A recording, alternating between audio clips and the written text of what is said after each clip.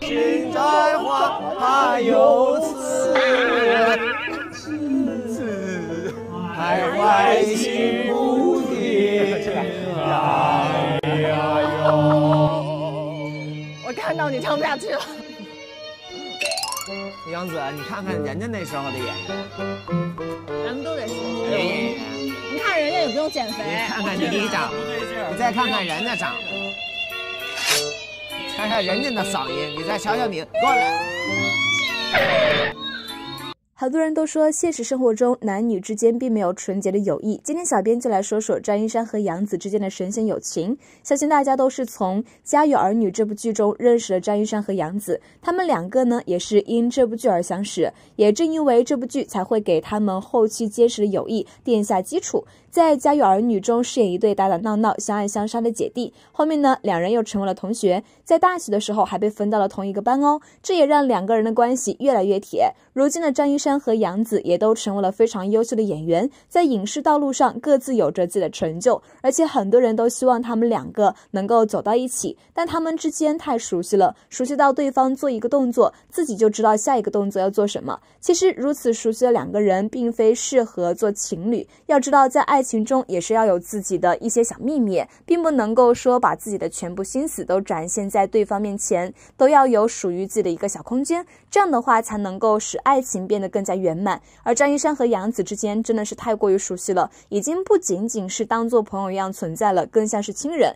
记得在一次晚会上，张一山和杨紫一同出席，当时杨紫呢穿的礼服裙特别长，张一山就一直跟在杨紫的身后帮她提裙子，像暖心的哥哥一般，生怕杨紫因为踩到。裙子而摔倒，其实有这样一个贴心男孩子陪在杨紫身边，也是特别好的一个存在。集团股份有限公司董事长、创始人兼总裁于东先生，以及刘涛上台为获奖者颁奖，有请。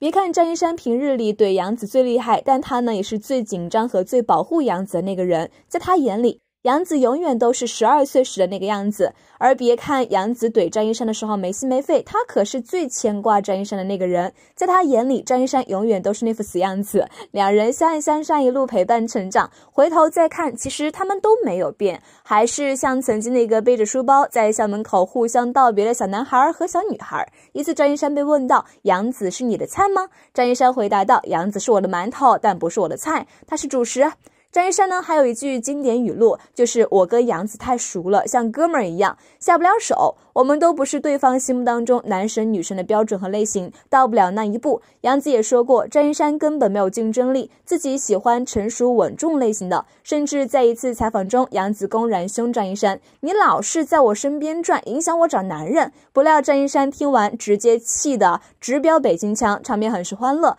这对活宝简直太逗了。对，因为很多男生都非常喜欢我，想追求我，但是就是觉得他总是在这儿，就是很多男生就会比较的对，嗯。好，谢谢大家。什么玩意儿？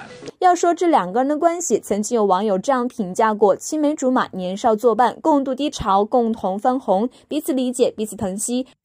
知己好友，生死亲人，这总结的既全面又到位。这么多年，张一山和杨紫从剧中的姐弟，到背着书包互相道别的同学，到大学四年的知己，再到如今的亲人，这一路走来，他们见证了彼此青春时期。少年时代和青年时光不是亲人，却胜似亲人。曾经的他们在剧中互怼，在生活中互掐，认识将近二十年，见面就掐，掐着掐着就长大了。童星出道，一起走红，陷入谷底，再次翻红。这跌跌撞撞成长之路，他们都有彼此的陪伴。相比以往，如今更多的是对彼此的关心，是暖暖的友情。而在娱乐圈中，这样珍贵的情谊更是难得。也希望他们友谊长存呢。